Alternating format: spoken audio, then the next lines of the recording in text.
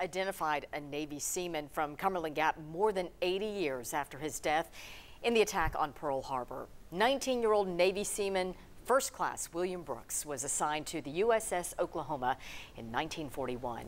Japanese aircraft attacked the ship while it was moored at Pearl Harbor during the war. The attack killed 429 crewmen, including Brooks. Unknown remains were buried at the National Memorial Cemetery of the Pacific, also known as the Punch Bowl. It's in Honolulu. In 2015, his remains were exhumed for DNA analysis. Brooks will be buried in July in Glen Burnie, Maryland.